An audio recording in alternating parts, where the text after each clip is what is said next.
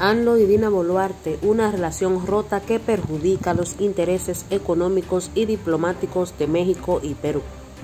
El martes pasado las relaciones diplomáticas entre ambos países se vieron afectadas por el pedido de asilo de la familia de Pedro Castillo y la posterior declaración de personas no grata al embajador.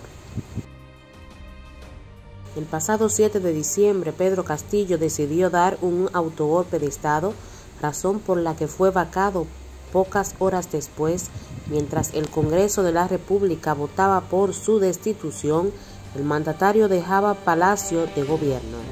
Luego se conoció que su intención inicial era dirigirse a la Embajada de México para pedir asilo, pero la escorta hizo que finalmente llegara a la prefectura de Lima, donde quedaría detenido.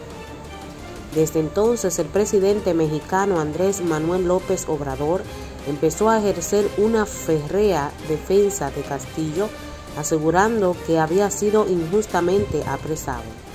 De hecho, AMLO decidió no reconocer el gobierno de la presidenta Dina Boluarte. Este martes, la tirante relación diplomática entre Perú y México llegó a su punto más álgido. El gobierno peruano declaró persona no grata al embajador mexicano en Perú, Pablo Monroy, por la injerencia de las autoridades en la situación interna del país. En el oficio le daba 72 horas al diplomático para salir de territorio peruano. Por otro lado, se confirmó que México le otorgó asilo a la esposa de Pedro Castillo, Lilia Paredes, y a sus hijos. El gobierno peruano Siguiendo los trámites, otorgó el salvoconducto y la familia viajó en la madrugada del miércoles a la Ciudad de México. ¿Cómo afectará a las relaciones entre ambos países?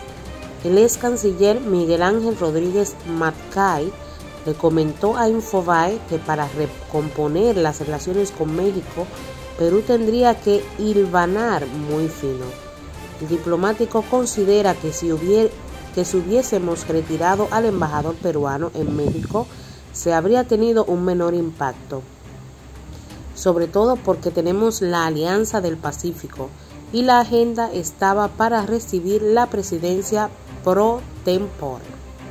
Sin embargo, al declarar como persona no grata al embajador de México, considera que se ha dado un traspié que no corresponde hemos entrado a una página más amplia de nuestra relación con México. Hemos colisionado gravemente con una relación que podíamos mantener en el ámbito diplomático porque era la cuerda que corresponde, dijo.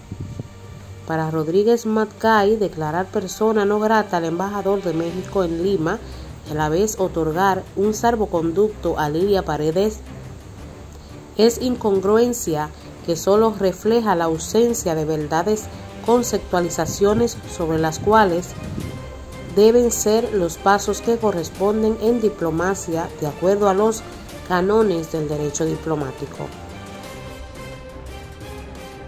Recordemos también que México y Perú mantenían una óptima relación bilateral a nivel económico.